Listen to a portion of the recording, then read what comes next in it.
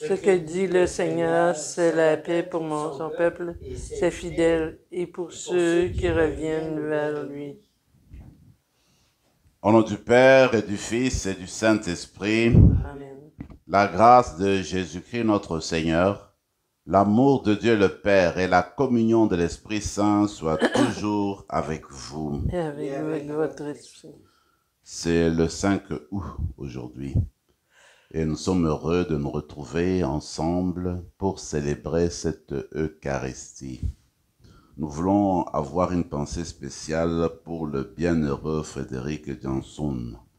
Vous savez que euh, est considéré comme le cofondateur du sanctuaire Notre-Dame du Cap hein, à Trois-Rivières, ce côté-là. Alors, peut-être pour nous, nous est présenté, nous est présenté comme un modèle de vie. D'ailleurs, l'Église canadienne, l'Église euh, universelle continue à travailler pour sa canonisation. Alors nous autres, nous le regardons, nous voyons que c'est un très bon modèle pour l'Église canadienne. Et il est modèle de plusieurs manières. D'abord au niveau familial, quand il grandissait en France, à un moment donné, la famille avait besoin que l'aîné de la famille, que les enfants s'implique plus dans le travail pour faire vivre la famille. Lui va se sacrifier, il va travailler un peu pour aider sa famille. À un moment donné, bah, quand tout commence à rouler bien, alors il va entrer, n'est-ce pas, chez les franciscains. Voilà déjà un modèle d'une personne qui s'est sacrifiée, qui a voulu travailler pour le bien de sa mère, pour le bien, n'est-ce pas, de ses frères et sœurs. Alors au début de cette rencontre, nous allons louer le Seigneur pour ce qu'a accompli, n'est-ce pas, le bienheureux Frédéric et pour ce qui continue à être pour nous aujourd'hui. Commençons par reconnaître nos manquements et nos limites dans la vie.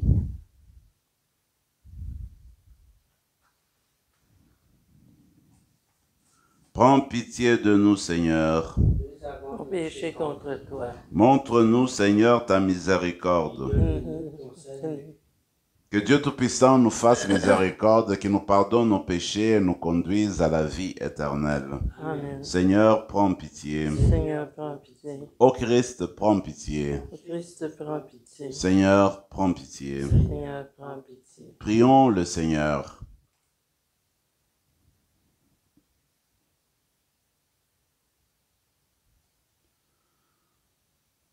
Anime, ranime, Seigneur, nous t'en prions, la, vo- la volonté de tes fidèles, afin que, plus ardents à rechercher le fruit de l'action divine, ils obtiennent de ta bonté de plus puissants secours. Par Jésus-Christ, ton Fils, notre Seigneur et notre Dieu, qui vit et règne avec toi dans l'unité du Saint-Esprit, Dieu, pour les siècles des siècles. Amen.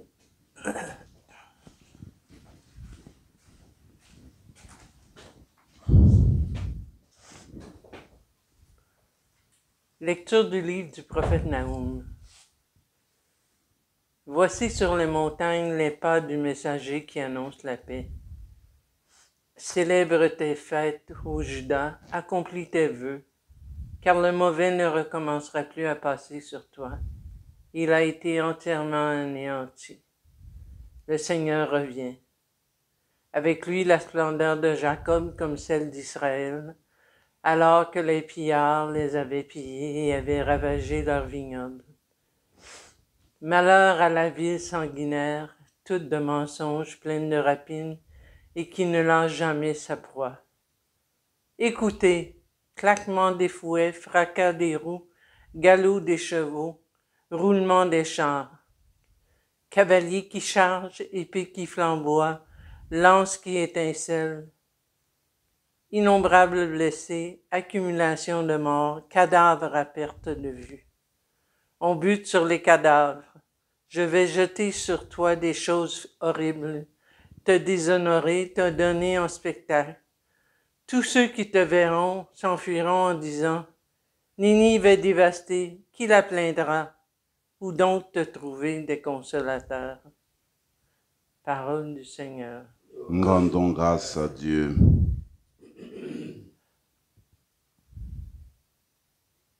C'est moi qui fais mourir et vivre. C'est moi qui fais mourir et vivre. Oui, proche est le jour de leur ruine, imminent le sort qui les attend. car le Seigneur fera justice à son peuple, il prendra en pitié ses serviteurs. C'est moi qui fais mourir et vivre. Voyez-le, maintenant c'est moi et moi seul, pas d'autre Dieu que moi. C'est moi qui fais mourir et vivre. Si j'ai frappé, c'est moi qui guéris. C'est moi qui fais mourir et vivre. Si j'aiguise l'éclair de mon épée, si ma main brandit le jugement, je tournerai la vengeance contre mes rivaux, je réglerai leur compte à mes adversaires. C'est moi qui fais mourir et vivre.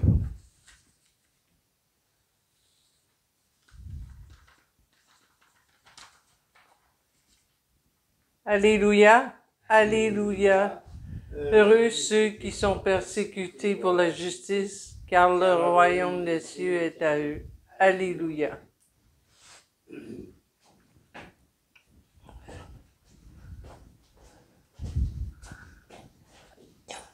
Le Seigneur soit avec vous. Et avec votre esprit. Évangile de Jésus-Christ selon Saint Matthieu. Gloire à toi, Seigneur. En ce temps-là, Jésus disait à ses disciples, Si quelqu'un veut marcher à ma suite, qu'il renonce à lui-même, qu'il prenne sa croix et qu'il me suive. Car celui qui veut sauver sa vie la perdra. Mais qui perd sa vie à cause de moi la trouvera. Quel avantage en effet un homme aurait-il à gagner le monde entier si c'est au prix de sa vie? Et que pourra-t-il donner en échange de sa vie?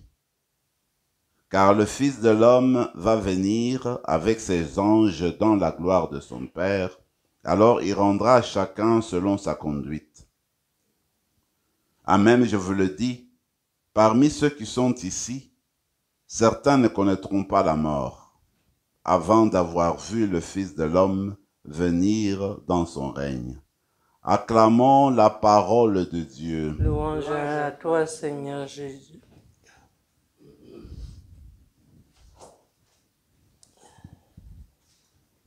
C'est pas tous les jours qu'on a un extrait du livre du prophète Nahum. Alors euh, aujourd'hui, je trouve euh, ce texte très interpellant, surtout en ses débuts, parce qu'Israël était un peu découragé. Et voit que le Seigneur lui dit, mais non, continue à mener ta vie. Regarde sur les montagnes, celui qui marche, n'est-ce pas, le messager de la paix qui avance. Alors, mène ta vie. Moi, je vais m'occuper de tes ennemis, je vais veiller sur toi. Encore une fois, c'est toujours une invitation qui est lancée à chacun, chacune d'entre nous, pour nous rappeler que notre Dieu ne dort jamais. Il veille toujours sur nous, il s'occupe de nous. C'est celui qui connaît le nombre de nos cheveux. Et durant cette célébration eucharistique, nous allons renouveler notre attachement au Seigneur. Nous allons renouveler notre confiance au Seigneur, notre foi au Seigneur. C'est Dieu qui, n'est-ce pas, veille toujours sur nous. C'est Dieu qui est notre berger. C'est Dieu qui nous attend en fait, qui nous a créés pour la vie et qui veut vivre avec nous en communion éternelle. Quand je regarde euh, l'évangile, en fait, ce sont des conditions pour suivre Jésus. Alors, on devient chrétien, c'est vrai, mais là, il y a quand même des conditions. Le Seigneur qui nous dit, celui qui veut se mettre en ma suite, et le terme qui est utilisé dans l'évangile, souvent, c'est marcher derrière. Marcher derrière, ça veut dire devenir disciple du Christ. Donc, suivre Jésus. Alors, la condition, moi, je trouve ici, nous donne deux conditions. La première, c'est que, eh bien, il faut renoncer à soi-même d'abord. Et ensuite, prendre sa croix. Mais renoncer à soi-même, qu'est-ce que cela veut dire? Moi, je me dis, en fait, si on ne fait pas attention et que nous suivons le rythme, le rythme de notre vie, et que si nous ne nous ouvrons pas la parole de Dieu, nous risquons de mener une vie égoïste, c'est-à-dire vivre de sorte que nous nous tournions sur nous-mêmes, recroquevillés sur nous-mêmes, nous ne pensions qu'à nous-mêmes, nous devenions comme des étalons de mesure, tout doit passer par nous, tout doit être à notre service, nous nous mettons au centre. Alors, être chrétien, être disciple de Christ, c'est tout à fait l'opposé. Alors, quand le Seigneur dit, celui qui veut devenir mon disciple, celui qui veut marcher derrière moi, eh bien que celui-là renonce à lui-même, c'est-à-dire à la place de penser à toi-même, tu te détournes de toi-même et tu commences à regarder les autres continuellement. Et c'est là durant toute notre vie, c'est n'importe quelle, dans n'importe quelle circonstance, avoir la préoccupation, toujours et toujours, la préoccupation des autres, que l'autre prenne la place centrale. Et certains aiment nous dire, eh bien, il faut se décentrer pour centrer l'autre dans notre vie. Donc, nous, sortons du centre de notre vie, nous ne sommes plus le nombril de nous-mêmes, eh bien, nous mettons au centre l'autre. Il faut le faire. Alors, c'est un travail, en fait, de longue haleine. C'est cela être chrétien. Une personne toute tournée aux autres, comme le Christ lui-même. Alors, ainsi donc, dans cette célébration, c'est ce que nous allons demander, la grâce qu'on va demander, qu'on continue à être aujourd'hui et demain des disciples du Christ, qu'on suive vraiment ses recommandations et qu'on essaie d'être comme lui a été, une personne toute tournée aux autres.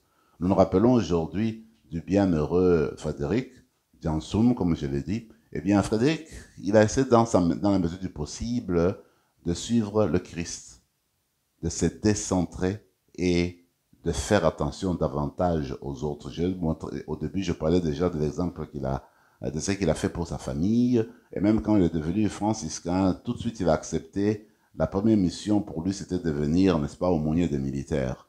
Quand l'heure va sonner pour qu'il soit envoyé en Terre Sainte, parce qu'il va vivre en Terre Sainte comme missionnaire durant 12 années, et là, c'est une vie toute donnée aux autres. Il travaille pour les autres, il va participer à la construction d'une église, et il va encourager le pèlerinage à Jérusalem. Et même on raconte qu'il serait, n'est-ce pas, euh, parmi les personnes qui ont fait de sorte qu'on reprenne le chemin de croix sur la voie dolorosa. Parce qu'il paraît qu'on l'avait laissé tomber en 1621 à cause de certaines circonstances. Et lui, quand il est arrivé, il a encouragé qu'on puisse reprendre le chemin de croix qui existe encore aujourd'hui sur la Via Dolorosa, comme on le faisait dans le temps. Alors, il me semble que euh, c'est quand même une personne qui nous invite à réfléchir, n'est-ce pas, à voir comment nous pouvons vivre dans notre vie aujourd'hui, n'est-ce pas, nous référant aux autres en référant toujours euh, euh, à Dieu.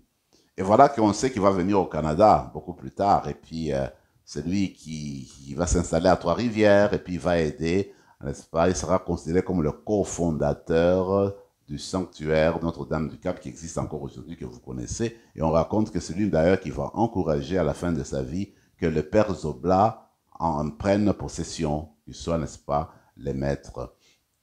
Ainsi donc, euh, voici la première euh, condition que le Seigneur nous donne, s'oublier soi-même. Et le Père Frédéric est notre modèle là-dedans. La deuxième condition que le Seigneur nous donne aujourd'hui, porter sa croix. Qu'est-ce que cela veut dire? Porter sa croix, en fait, la croix, on pourrait dire, ce n'est pas une chose à choisir. Quand tu te lèves le matin, tu dis, voilà, ma croix aujourd'hui, ça sera celle-ci, ça sera celle-là.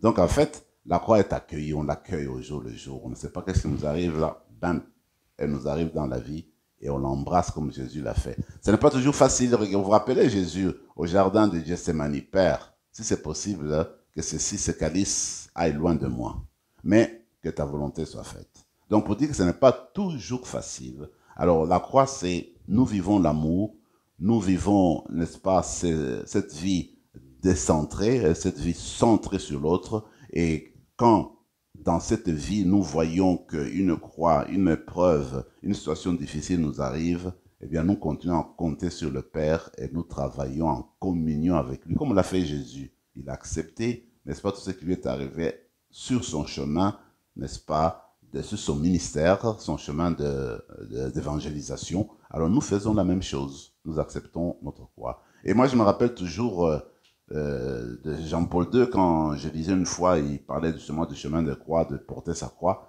Alors il dit, écoutez, mine de rien, nous, nous pensons que nous sommes comme Simon de Cyrène. Hein. Nous, aimons Jésus à porter la croix, mais il dit, en fait, c'est Jésus qui nous aide à porter notre croix.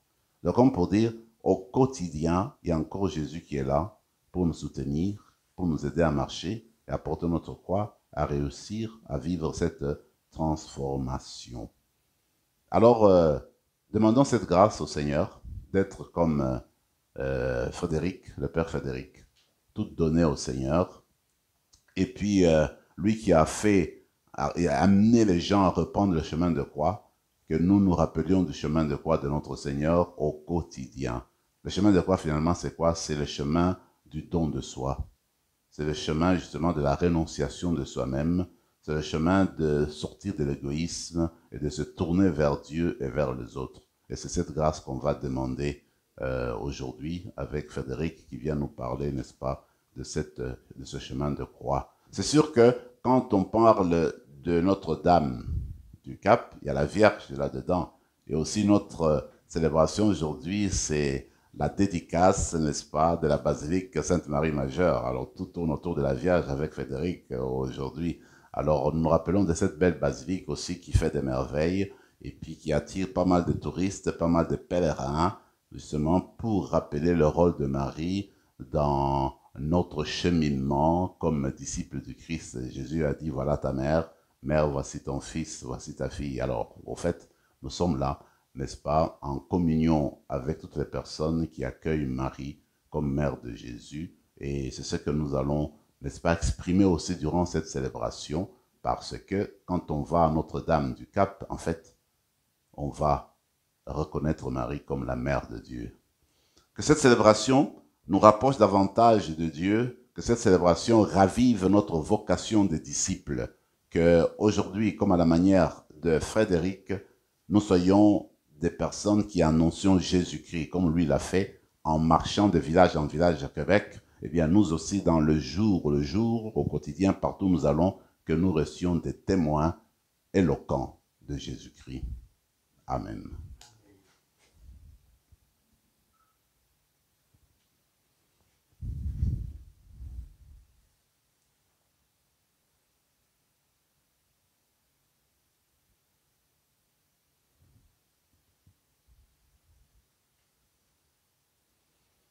Tu es béni Seigneur, Dieu de l'univers, toi qui nous donnes ce pain, fruit de la terre et du travail des hommes et des femmes.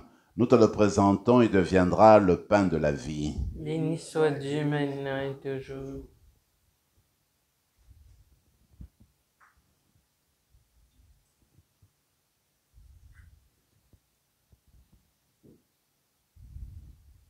Comme c'est au vin pour le sacrement de l'Alliance puisse mettre bien la divinité de ceux qui a pris notre humanité. Tu es béni, Seigneur, Dieu de l'univers, toi qui nous donnes ce vin, fruit de la vigne et du travail des hommes et des femmes. Nous te le présentons, il deviendra le vin du royaume éternel. Béni soit Dieu maintenant et toujours. Seigneur,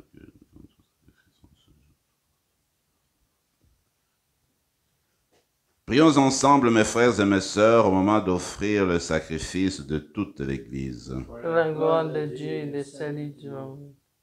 Accueille, Seigneur, les dons très saints que tu nous as demandé de consacrer à ton nom.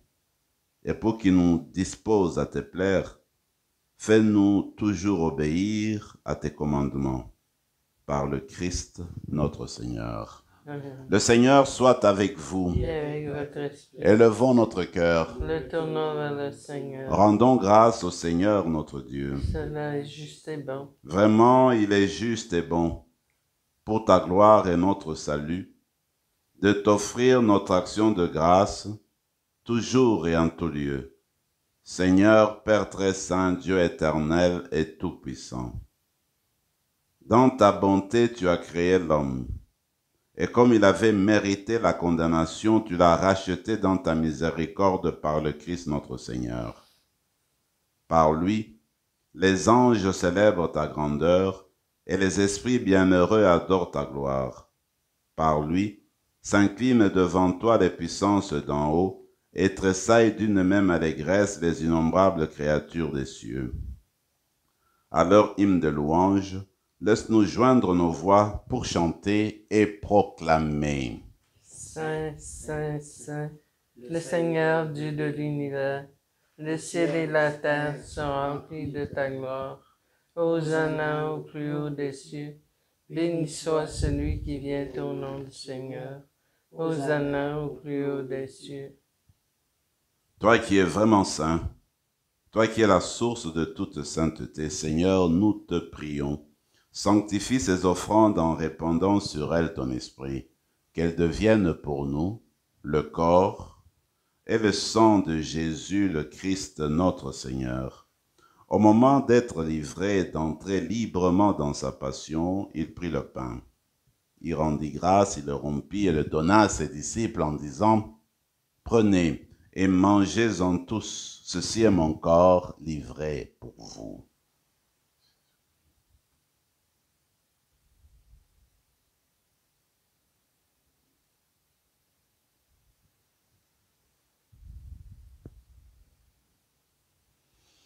De même, après le repas, il prit la coupe. De nouveau, il rendit grâce et la donna à ses disciples en disant, Prenez et buvez-en tous, car ceci est la coupe de mon sang, le sang de l'alliance nouvelle et éternelle, qui sera versé pour vous et pour la multitude en rémission des péchés. Vous ferez cela en mémoire de moi.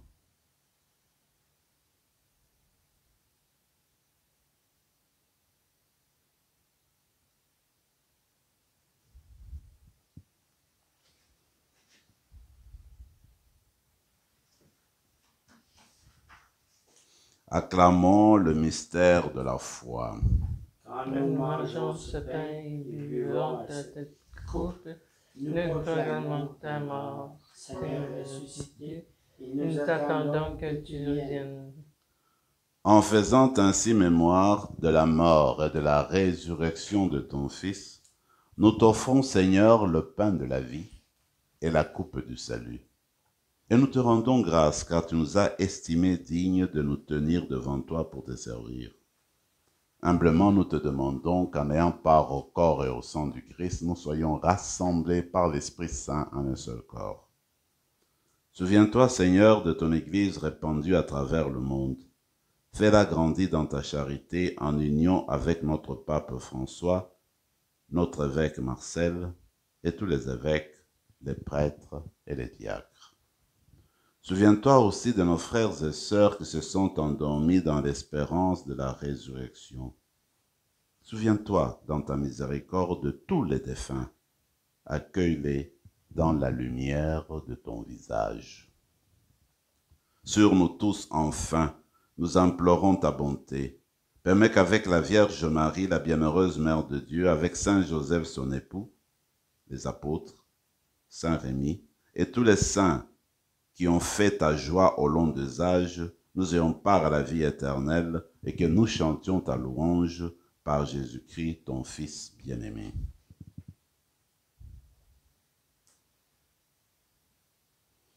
Par lui, avec lui et en lui, à toi, Dieu le Père Tout-Puissant, dans l'unité du Saint-Esprit, tout honneur et toute gloire pour les siècles des siècles. Amen.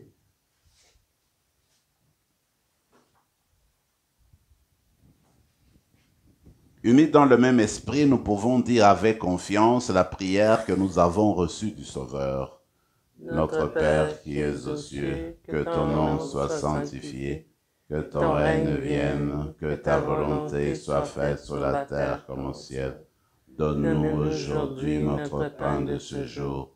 Pardonne-nous nos offenses comme nous pardonnons aussi à ceux qui nous ont offensés et ne nous laisse pas entrer en tentation, mais délivre-nous du mal.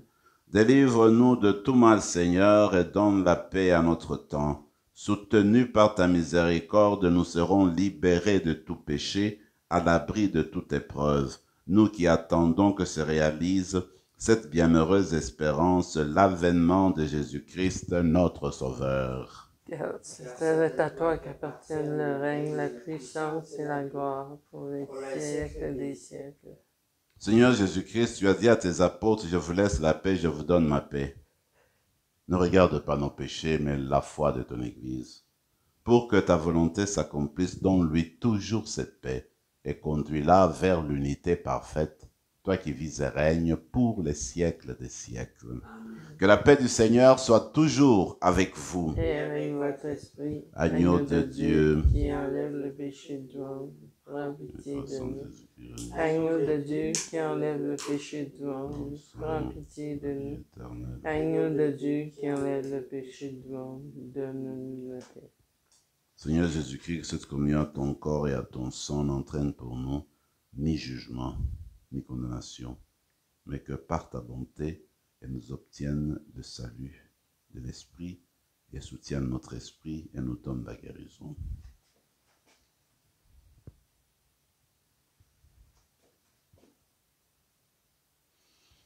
Voici l'agneau de Dieu, voici celui qui enlève les péchés du monde. Heureux les invités au repas des noces de l'agneau. Seigneur, je ne suis pas digne de te recevoir. Je serai guéri. Que le corps et le sang du Christ nous gardent pour la vie éternelle. Amen.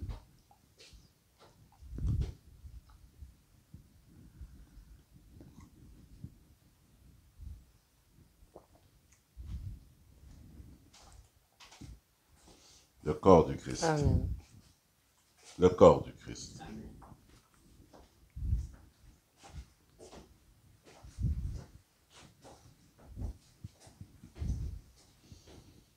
Après avoir reçu le Seigneur dans nos cœurs, prenons quelques moments de silence et de prière.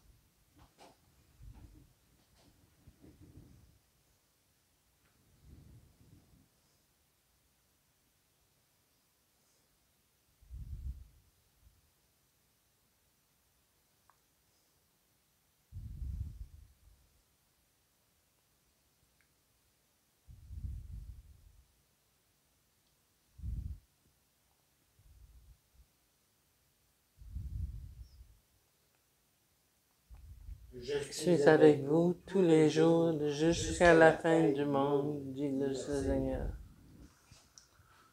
Prions encore le Seigneur. Nous avons communié, Seigneur, au sacrement divin, mémorial à jamais de la passion de ton Fils. Nous t'en prions. Fais servir à notre salut le don que lui-même nous a légué dans son amour inexprimable. Lui qui vit et règne avec toi maintenant et pour les siècles des siècles. Amen. Le Seigneur soit avec vous Et avec et que Dieu Tout-Puissant vous bénisse, le Père, le Fils et le Saint-Esprit. Allez dans la paix du Christ. Nous rendons grâce à Dieu.